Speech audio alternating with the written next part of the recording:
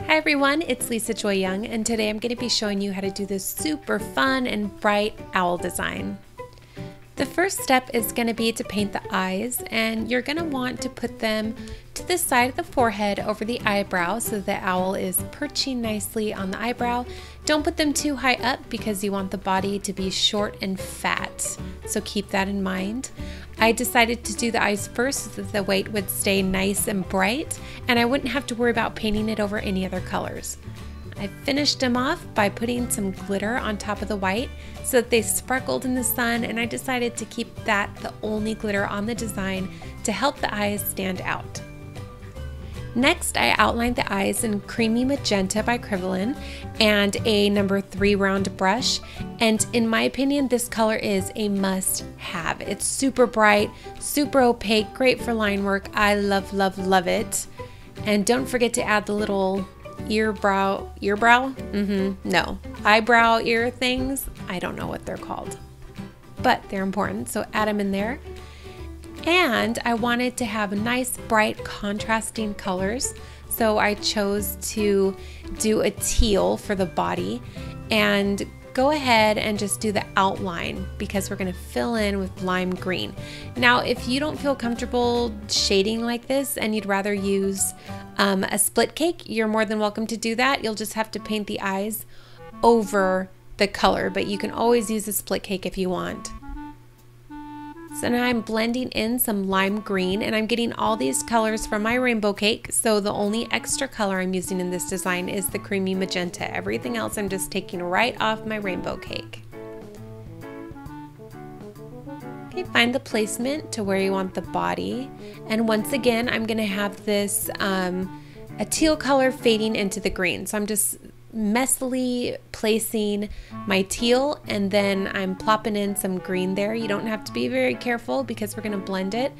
Now to blend this, I just wiped off my brush, added a little bit more teal, and as you can see here, I'm just dragging that teal color into the lime and it gives it a nice natural blend. It is does take a little longer than a split cake to do it that way, so keep it in mind. You might want to use a split cake.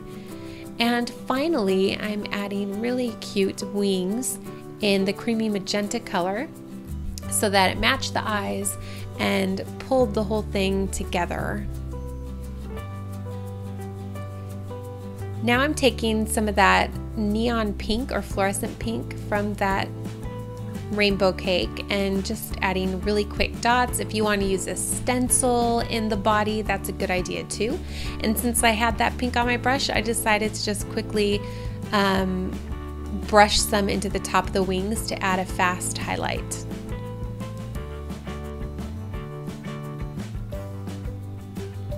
For the eyes, I wanted to make the pupils really big as well. So just any size you want. I made mine a little bit bigger. And then I put a cute little eyelash on my pupils. And now it's time to outline. I really apologize. I was out of frame for almost all of this. So um, you're not going to see much of it, but it's just standard outlining. I believe I used a number two brush. Um, try to keep your lines thin so that you don't overwhelm the design but this is more of a bold look, so you don't have to be too careful with your lines. And finish it off by adding highlights wherever the light would naturally hit. Now it's time to use that uh, bright rainbow cake, and it is so beautiful. This is a Lisa Joy Young exclusive, that's right. And it's one of my favorites, and it's one of the little girls' favorites too. They will go for this cake I nine times out of 10, they love, love, love this cake. So I get a lot of good use out of this one. And I'm just gonna go ahead and place the color around the owl. I did this after I did the owl so that none of the colors interfered. Just be careful not to cover up any of the pretty line work you just did. And press the sponge, don't drag it. Now I'm staring blankly at myself because I have no idea what I was gonna do. Oh my gosh, I cut out a lot of this too. I just stared. I was so lost. It's the worst. Can't think of anything. And I just decided to go ahead and put in some swirls and hopefully it would turn out okay. I wasn't really sure what I was doing at this point. Um, but I want to make sure to frame my owl. So I have some of the swirls touching the owl. As you can see, I'm rounding off my sharp edges inside of that loop. So rounding off the edge there. And just make sure to press and lift. So you have very fine, beautiful points in towards the corner of your eye. Press and lift. You want to get a good variation of thick to thin.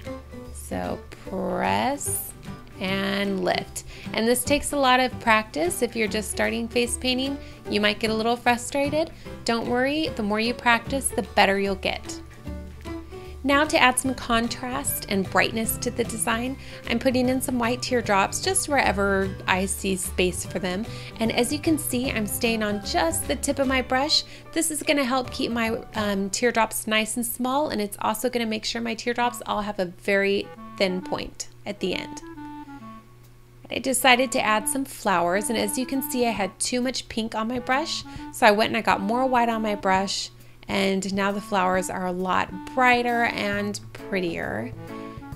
And as you can see here, for these petals, I'm doing a little differently. So I'm pressing and pressing again, kind of make a heart.